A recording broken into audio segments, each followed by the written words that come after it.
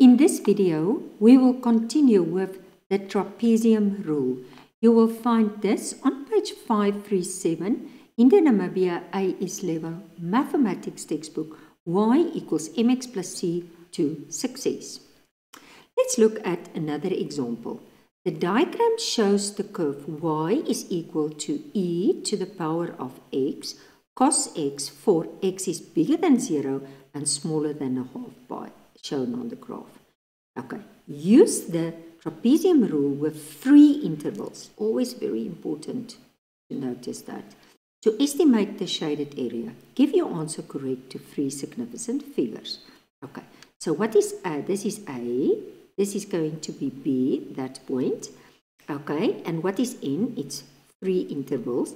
And if I subtract, divide, I get pi over 6. Now, this is usually what the intervals that you will continue.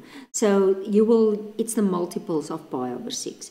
So if it's pi over 6, or if you say 2 times pi over 6, then it's actually pi over 3. And if you say 3 times pi over 6, then it's, it's pi over 2.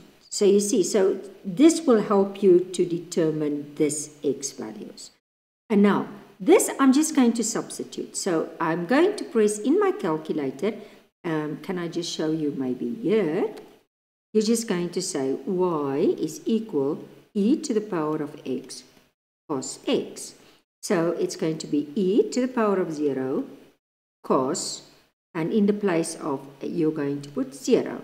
And remember this is 1 and this is 1 and that's where I got 1. And so you continue and then you put um, pi over 6 pi over 6 and, and just press it on your calculator. I'm going to try to press the, this one.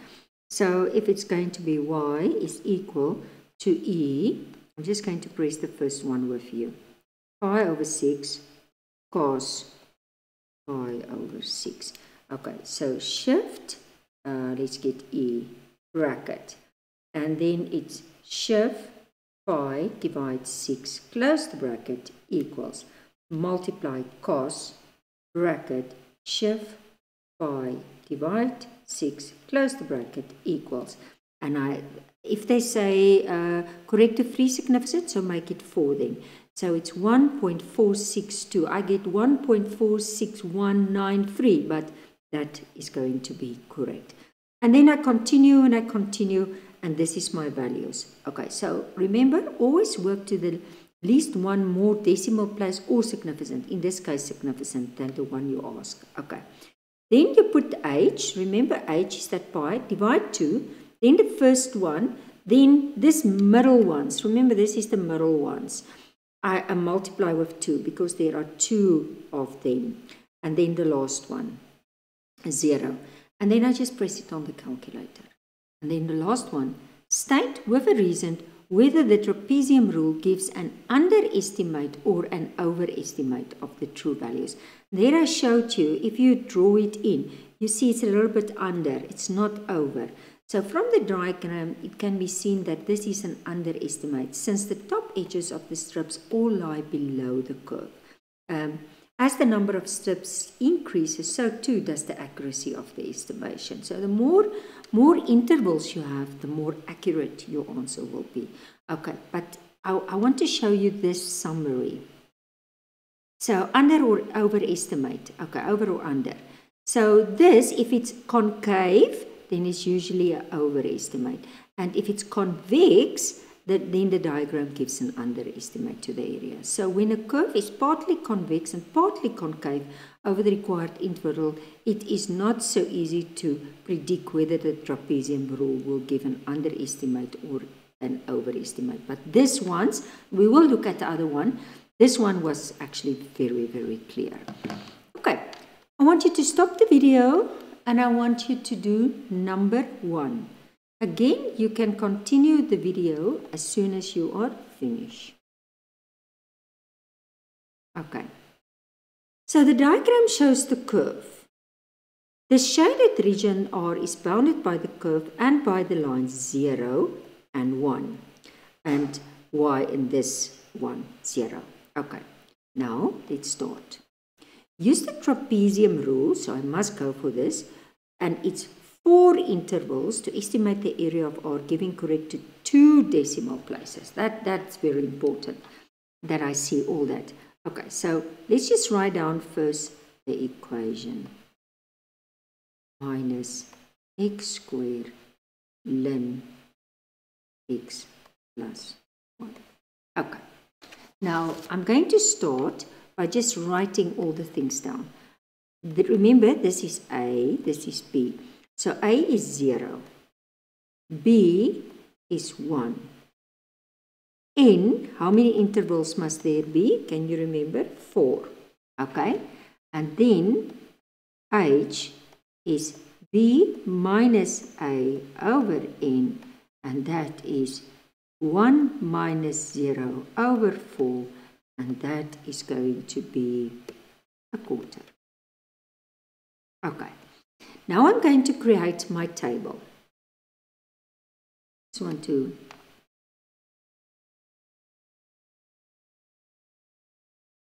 make one extra just to show the age.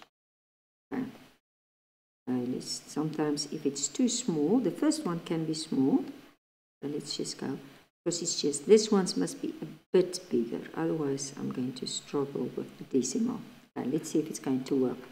Okay, so this is going to be x. Let's get the pen correct. x, and this is going to be y, and then I will start with y0. Okay, let's can prefer that Okay, and this will be y1, y2, and y3. And oh, there's going to be another one. Because remember, uh, it's always one more it's almost like, so this must be to up to y4. Okay, so didn't make it long enough. Let's just go and make it a little bit longer. Because at the end, okay, it's a bit messy, but I think you can see. At the end, it's going to be, say for example, just go into the previous, just to show you. If it's three intervals, but because we count this, so it's one, two, three, four. So it's always one more line. So it's three intervals, but it's one, two, three, four. So just keep it in mind. Okay. I'm going to substitute in my formula. Okay, the first thing, it starts at zero. Okay, so let's just make zero. And then I said to you, this value of h must help you. So the, in multiples of a quarter. So then it's going to be a quarter, and a quarter plus a quarter is a half and then it's going to be three quarters and then um, then it's going to be one. Okay so that is very important.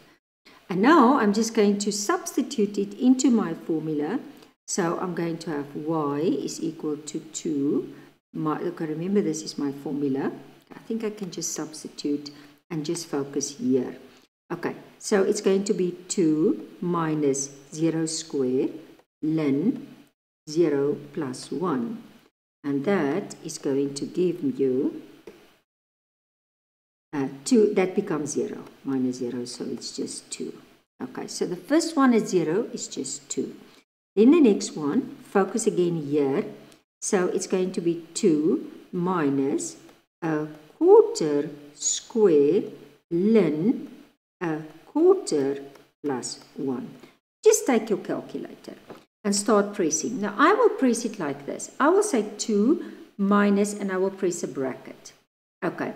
And I will say, actually, you, you can already work this out. That's not very difficult. It's 1, 1 times 1 is 1. 4 times 4, is going to be 16. So I can say 1 divide 16, okay, uh, multiply ln, and then I will put another bracket, and then this is 1,25 or you can say 5 divided 4 if you, if, if you make this times 4 times 4. So 5 divided 4. And now remember I closed this bracket but then I closed the bracket that I was putting there in the beginning. And then, and then I press equals. And then uh, remember they want the answer to two decimal places so I'm going to make 3. So it's going to be 1.986. And don't make it too small. I really am struggling now with this space. Okay, and then you do the same. Then you're going to say 1, 2, minus, and now it's a half square, and then it's ln, and it's a half, and I will repeat it another time, how I press it. So basically, I, I don't, I work this out, but I press the bracket there, and I like pressing a bracket there, there, and then I close it two times. So I press it, you can do it easier. You have, you know your calculators may be very good. So 2 minus, and then bracket. I can see this is 1 over 4 because it's squared. So 1 divide 4, and then I just put a multiply. Multiply ln, and that's 1, one and a half is 1.5. So 1.5 close the bracket. I didn't put now another bracket, so now I must actually look, because now in this one, I realize now that because I was having 1.5, I left that out, and then equals. But as long as you come to 1.899, Okay, and then the, the next one, okay, so it's going to be y is equal to 2 minus 3 quarters squared ln, and that's 3 quarters plus 1. Okay, so remember this is 1.75. Then I basically can just put my bracket there.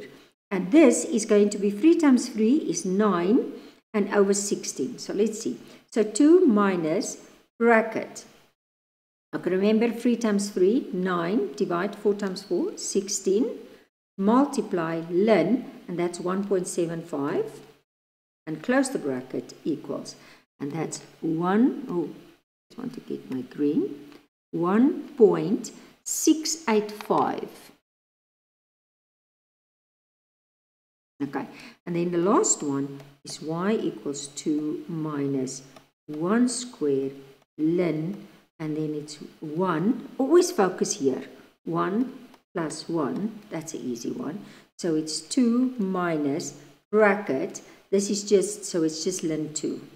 Don't even have to put the bracket. ln 2, close the bracket, equals. And that's 1.1.307. Okay. Okay, and now, now I'm going to start with that area. So I'm going to say area. And now you will see in the textbook, as for approximation, you do it some, but it's not, it's not going to influence so much. So it's 0 plus the middle 2. No, sorry, I just want to get my pen correct.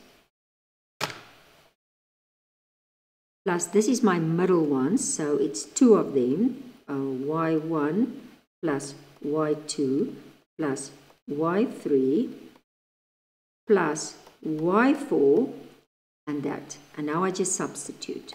So remember, what is h? It's a quarter divided 2. Okay, so it's actually going to be 1 over 8. And now I start. So it's 2 plus 2, and then it's going to be, I'm, I'm, I'm focusing here, so 1.986 plus 1.899 plus 1.685 okay plus 1.3 that last one uh, 1.307 okay and then I'm just closing that bracket okay so remember this is 1 over 8 and basically, I can just press it on the calculator. So uh, you don't have to, but okay, now I made it self complicated by I wanted to. So let's just rather get what's inside the bracket and not write everything down. So let's just do the inside of the bracket. So 2 uh, plus 2 bracket 1.986 plus 1.899 plus 1.685 plus the bracket plus 1.307 equals. It looks like I'm getting 14.447 and then actually multiply 1 over 8 or um, divide 8. And I want to see, yes, I got the correct one. It's nice. It's 1.3 um, significant, so 8, 1, and it's units. Okay, and that's how you do it. And then the final question. State with a reason whether this trapezium rule gives an underestimate or an over. Now, if you are going to draw in here your trapeziums, okay, then remember it's, it's going to be, a, um, that's not very good, but, but it's going to be a bit short. That's not so short. Okay, okay, but basically, and you're going to be a little bit short every time. Okay. But because this is very clear to see, I can see that according to my statement here, it is a convex, and convex will always give me an underestimate. So just start, end up by saying, from the, oh, sorry, from the graph, you can see this area is an underestimate.